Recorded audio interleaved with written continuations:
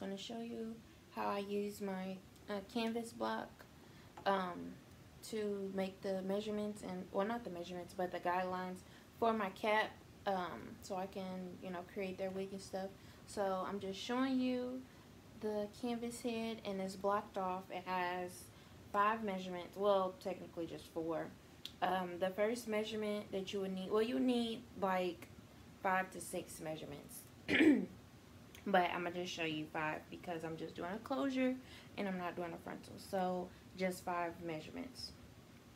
The first one you want to start is your circumference. So when someone places an order on my website or when I create an invoice for them um, they have the option to tell me their um, head circumference but um, and they get to choose 20 21 22 23 24 you know small medium large and then extra large. That's on my website. But if I create an invoice for you and you do not tell me your um, head circumference I automatically just use a 22 circumference and I do the measurements based on the average 22 head size. However since 22 is you know the average that's what I'm going to be using today and I'm going to show you um, the measurements and stuff. So you will need the front to nape which is from here and it goes all the way back to here for a 22 um, head circumference front to nape is usually a 14 which it'll stop right about here and I'm just gonna mark that real quick and then um, you will also need your ear to ear. And ear to ear is from here to here. So on this side and it goes all the way to here. This is typically where the frontal will lay. And ear to ear is basically like 11.5. So if I do 1, 2, 3, 4, 5, 6, 7, 8, 9, 10, 11.5 and it'll be right there and then we're gonna do temple to temple which is like a 14.5 and I use these two lines right here as my guide for the temple. Hopefully y'all can see it. Two you. Know but I use these two lines as already on the canvas blockhead and I use them as my guide. And it's going to be a 14.5 so we're going to start, let's see, we're going to do, because I think I did an average of these two. So we're just to start over here. Where's one? One, two, three, four, five, six, seven, eight, nine, ten, eleven, twelve, thirteen, fourteen, and then point five. It'll typically be right here, but since I had to measure it off, we're gonna kind of like balance it out since this one is like all the way up here and then this one is all the way back here we're gonna kind of shift it back so if I'm right here and this one is right here really if I shift this one back one this one goes up one and it'll be like this this side and this side so these two are my temple to temple 36 and 22. Start right here and right there. That is my temple. And then we're going to also do the nape to neck, which is this one back here. And usually it is a 5.5. So, see, one, two, three, four, five I did half right here. so we're gonna do three, four. It'll be like six. So we're gonna just do this right here. We're gonna take this and I'm gonna do the mark right there, and it'll be right there. And just like that. So that's how I use it. Now I'm just going to put this um, cap on. And these are the dome caps. I use it, I either use the mesh um, cap or I use the dome cap. Either one is okay. It's just they didn't have the measurements in stock, so I had to go ahead and get a dome cap. They work just fine. It's just one's mesh and one's the, the other side, so really doesn't matter. But I'm just gonna put this on, and right where I draw those little lines, that is where I'm going to place my um, cap. So starting right about here, and I'm gonna scoot this one out so it's about right here. Okay, that is the neck to neck. We did that one. And then the ear to ear one, or the temple to temple, is about right here. And let's see, this tattoo is about right here. There we go. And then this is the starting point. I'm just gonna put that right there. Alright, so now it's a little baggy. And what I'm going to do is I need more T-pins so I can pin it down and it's not so baggy. It's a tight fit, so just give me one second. We're just gonna pin it down. We're just going to pin it down.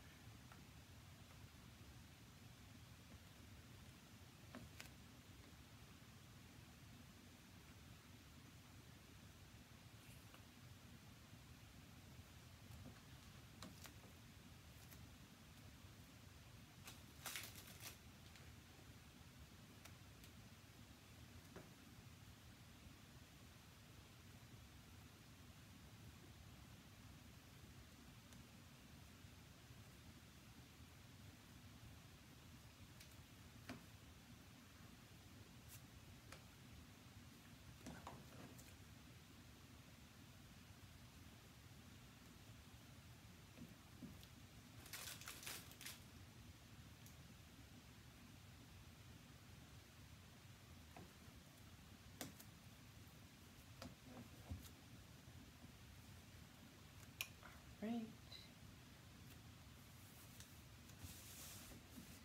Now it is good. So now we're going to sew down the cap. I'm going to sew that cap down. But I'm going to sew it down.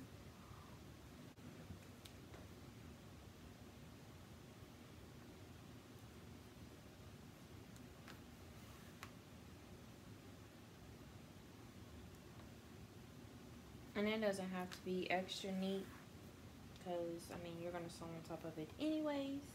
But,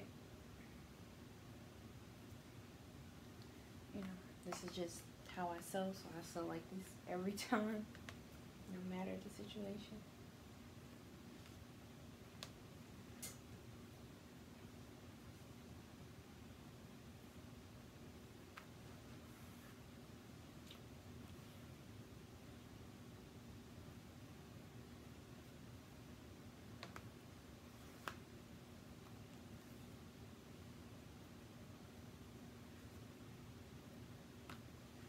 Now, since this is a closure, I um, pull the extra cap, I pull it back because, um, you know, that's going to be covered by tracks. But if I were to do a frontal, I will pull the cap forward because, and do it towards the frontal part because that part is going to get cut off anyways. So it's really, you know, not that big of a deal. So if you're doing a closure and you have excess cap, um, you can pull it back because you know it's just going to hide it. But if you're doing a frontal you can pull the excess cap forward because that part is going to get cut off.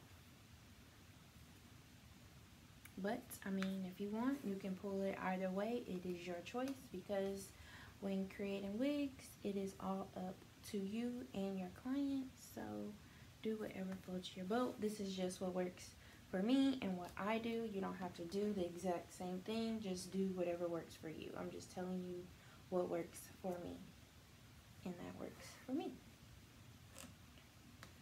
So I got that side. And it is flat. Now I just go to the other side and I just pull that part down.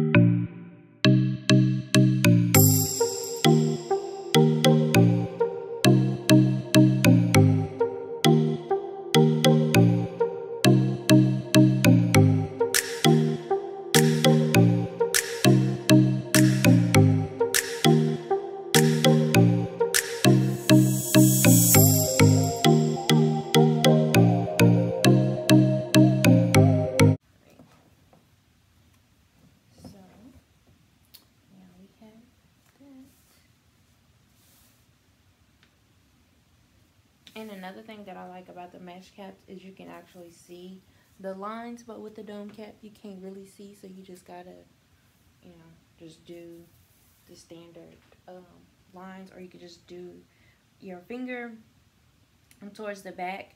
Um, do like your thumb for every, you know, one, and then when you get close to about, I would say like right about here, start to use your um, index finger for a few of them and then use your pinky. Because when you get close towards the closure part you want to make sure that your checks are really close together and they're not really um, they're not spaced out and you know just flows together. So I'm gonna do my um, thumb. You know what I'm Okay, and also I make sure that I start using my thumb right above my wig tag. So that will be my first line. I don't sew on top of my wig tag because I want to get comb or if they want to get combs added or you know just so it just don't get so caught up in the sewing machine. So that's why I start above my wig tag. But I'm gonna do another one.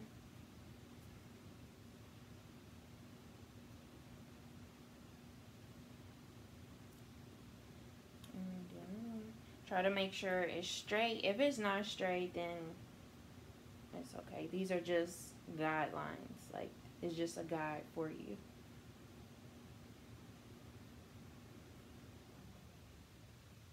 Also, around the fourth line is where the first, uh, or you'll be done with the first bundle anyways. So I kind of measured out like that. So the first four lines is like the first four tracks and that's one bundle. Also, um, make sure that all the ones you use with your thumb, they are double, um, they're double tracked or double webbed, however you want to say it. Make sure those are double. And also when you start to use your index finger, um, those ones are double as well. When you get up closer to the closure part, that's when you're going to start um, single tracking it.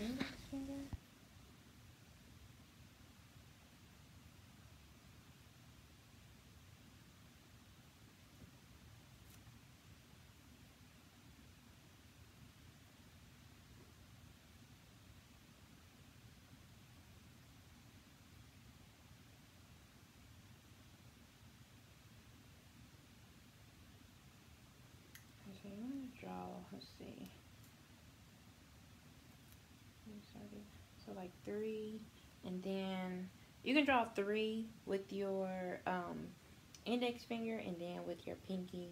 Then you can draw a few more. Because you want these up here to be really close. And then since you're going to be single tracking the ones at the top oh you can't even see. I'm so sorry y'all. And since you're going to be um, single tracking the ones at the top so hard for me. So the ones you're single tracking, you kind of want them to be kind of close.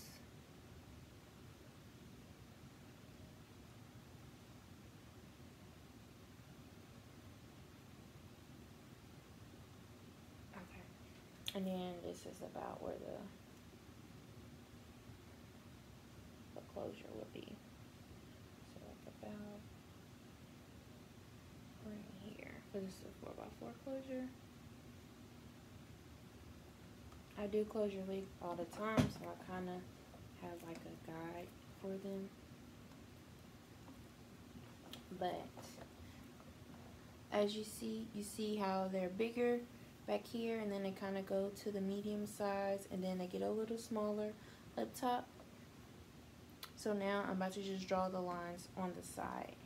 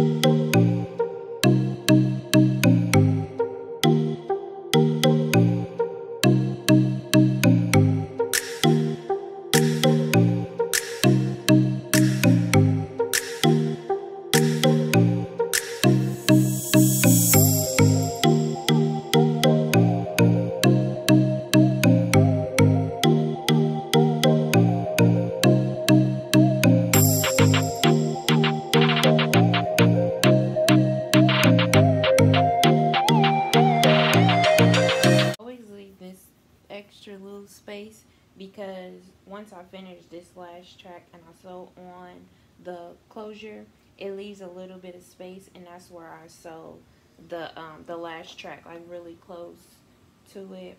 Here, I'll just go ahead and draw it on here just to show you.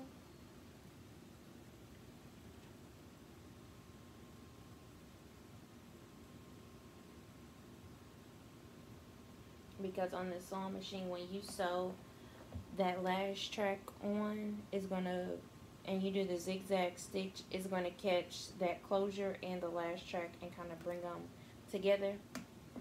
So that's what I tend to do.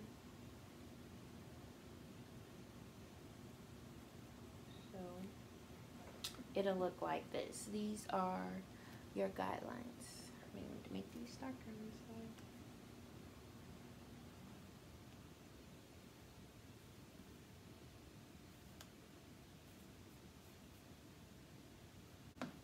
but yeah these are your lines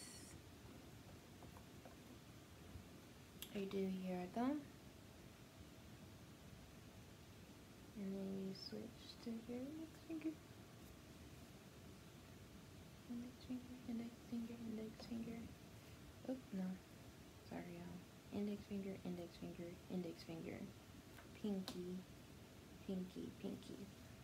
So you do one two three of the pinkies, one, two, three of the index finger, and then two, three, four, five of it's really six with your thumb instead of five. Like my sister started calling, I got sidetracked. But um yeah, thank you guys so much for watching. Hopefully this video helped you guys in some type of way. You know, if it did, make sure you comment below. Make sure you um, you know, share with your friend, your family, whatever, any wig maker out there who may needs this, make sure you share with them, let them know. But thank you guys so much for watching. I appreciate you and stay tuned for more videos. Bye.